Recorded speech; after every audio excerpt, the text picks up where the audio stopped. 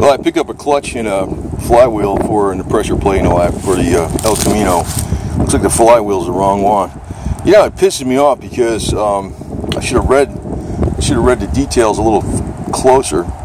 This is a 14-inch flywheel, 168 teeth, which would be for not a 305, but they have it as the only flywheel available for the 305, but it's not the right one. It should be um, 12 and an eighth inch diameter with 153 teeth. So I'm like, that's great.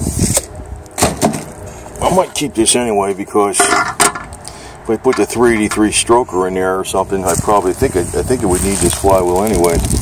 Because, um, but anyway, boy, that pissed me off, man. God they got it listed wrong. It's listed wrong because there's only one flywheel option for the 305 listed. So I click it on. I see there's not even any choices. And I get that damn thing. And I'm like, wait, the first thing I did before is just freaking taking anything apart. Make sure this bolts up on here. And no. Actually, I should have caught this though. I should have caught that because I think that's a 10 and a half inch clutch. And the bigger clutch would go on a bigger flywheel, but they only had one choice, so that's what I picked. Man, the one I got in there, freaking 20 years ago, was all scratched up. And actually this, should take, um, it's probably clean, man. I don't know. Maybe there's some kind of coating on here. There's no rust, though. Take some kind of uh, lacquer thinner or something, acetone, and clean this crap off. Here's the uh, throwout bearing that goes on a clutch fork. And of course, this, of course, it don't fit right, you know. goes between these two things. And your throwout bearing fits in your clutch fork like this. And when you press on the clutch, it pushes these things down, which releases pressure, takes the clamping force off the clutch, you know. And actually, with mine slipping a little bit, it could partially be because it's just freaking dirt, you know. Probably if you can get in there and uh, release the clutch, clutch, and uh, get in there with brake clean, you probably could make it work better. This bearing, I ain't sure what the hell this is for, to tell you the truth. This bearing is, this goes in the, uh, uh, what do you call it, the uh, crank crankshaft. So it's like where this bolts into the crankshaft. When this bolts into the crankshaft, this is inside the crankshaft. The way to get this out is you take a bunch of grease, you fill it up with grease. This would be fit and flush against the crankshaft, and you fill it up with a bunch of grease, and you get a socket that fits in there just real tight with the extension. And as you hammer it, the grease gets behind the pilot bearing and starts knocking it out. That's how you get that out of there. And when you put these on, I got the new bolts for it. Of course, damn thing don't fit. new flywheel bolts. Which I'm going to install with uh, Loctite. I think they give you an extra extra couple bolts here because you need once you only need seven think they give you 10. But I'm going to have to order another flywheel. Probably not going to return this because I'm bullshitting around with that. They'll probably charge you on shipping. Thing isn't even that much damn my money. So, but that slowed me down. Tomorrow I'm going to take this thing out and uh, get rid of the rest of those little bit of crap I got there with the tree branches. So, yeah, that's a bummer, but figured I'd check this first beforehand because get under the car, you know, it don't fit. And this should be, I was going to count the number of teeth, but it would be a 168. I should have a 153. I only got a 305 engine in there. I think it'd be the bigger flywheel. I knew it wasn't the bigger clutch. So, order another flywheel. Man, piss me off, know, I guess I'll just keep this with this. Oh yeah, and this, Man, back in the day, they never had these things. we used to have to freaking step on uh, the clutch arm with our foot really hard and try to jiggle it in there. We can guess to get it about right. They never had this stupid plastic thing way back in the day. This makes it way easier. I mean, I've, I know they had this for about, God, I mean, the last time I put this clutch in 25 years ago, um, it had this. But I'm talking back in the 70s, the, the clutches didn't come with these things. you should see what a pain in the ass it was to get them in without that, man. One guy be stepping on an arm of the clutch, and another guy be um, trying to jiggle the transmission in. And it pissed me off, though. This is this is like this is what aggravates me is that there's only one there's only there isn't two different flywheels for the 305. There's there's just a smaller one, and they got the wrong one listed under the damn thing. I should have. I really didn't. I just took it on faith that they got it correct, but you know, you think they would, but they don't.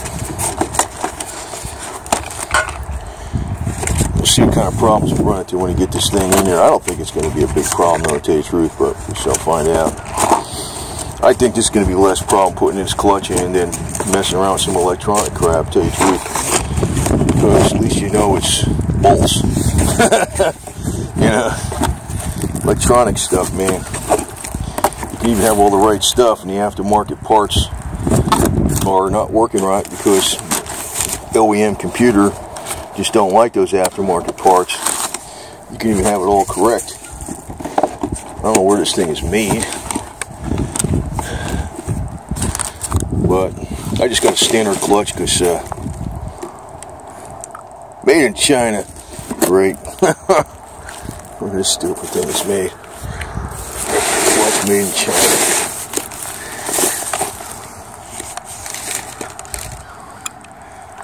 Made in China. Probably the guys that freaking put the uh, wrong listing probably in China too. Who knows? Oh, here's mine need that. A lot of times you don't need to change the pilot bearing, but well, I changed mine the last time, man, that thing was, it gets all, it's like the uh, tip of the transmission sits in there, and you got to stick some grease in here too. It gets all ovaled out after a while.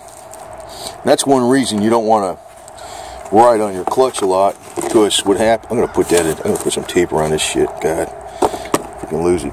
You'll, uh, wear out your throw bearing pretty quick.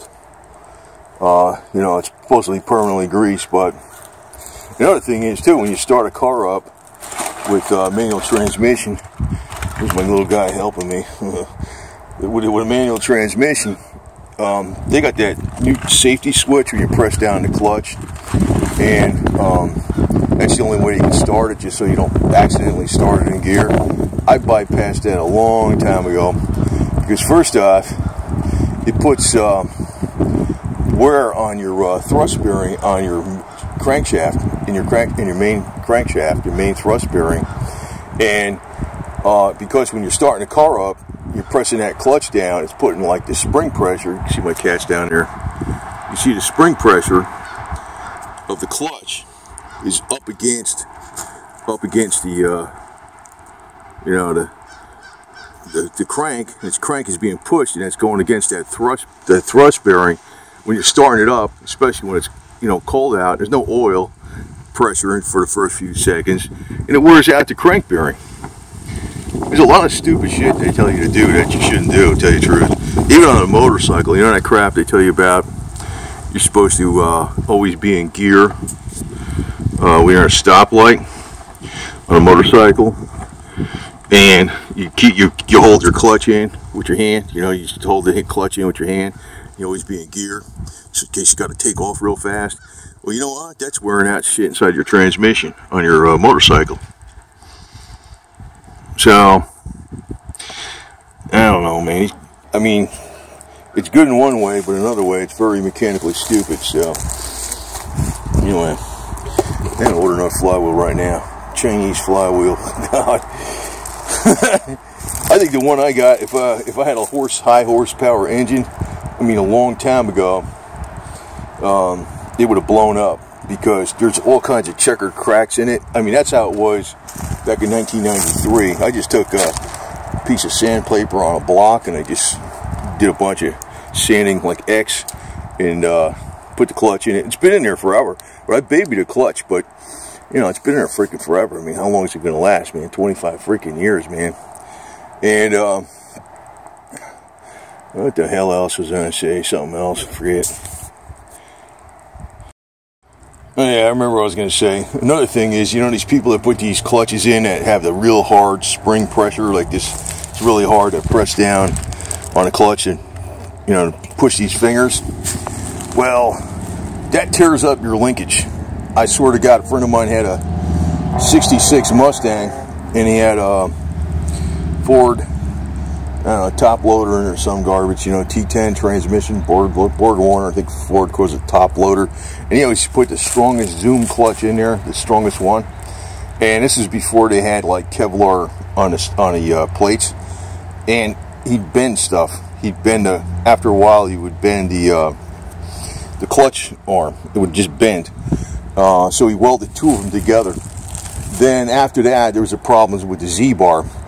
This car had um, I had to rebuild the Z-bar, change the bracket on the uh, go into the frame, change out the bolts because this car a long time ago, that's why I changed the clutch a long time ago, had a real heavy clutch in it. It tears everything up. And actually that real heavy clutch, when I popped the clutch, destroy, it broke the main shaft on my Saginaw. I mean, you don't want something that grips that freaking hard anyway, you know? Not with a car like this. Maybe with a Muncie or something. M22, but not a Saginaw. so that's another thing. And if uh, they, today they got the clutches that are the more they slip, the tighter they grip, the Centerforces and stuff. And they've got the better clutch material. I don't have that. It's just got standard shit in this one right here, but um, I figured, you know, if I change it this time, if I got a burn, it gets burned out in five years, like oh, I could probably oh, should be a league of flywheel alone. Just freaking uh, hit it with the sandpaper, you know, on a sanding block, and go over it a bunch of different ways. So it should hold up. But uh, that's why the more heavy duty shit you put on, it's like you do one thing, you got to do the other thing. You normally you do the whole drive chain train first before you do the motor. Most people do it the other way around, and they find out they bust everything. To do the transmission and the rear and the clutch first. But I'm, I'm going to keep this because you know what? You never know. I might have a 383 stroker putting this thing. I wouldn't go to a 350. I would leave the 305 if I ever change the motor or just I would get the 383 because it doesn't have the Siamese cylinders. And since it has the, uh, what do you call it, the 400 uh, crank in it, the 400 cubic inch crank, that would be, you know, the right damn thing with the external balancer and that would be you know on the front and this would be the right flywheel for it so. Anyway. Got to go order another one. Man it's way I'm gonna hit it with a bunch of clear coat paint and uh, wrap it up in plastic and shit after paint dries so won't rust or nothing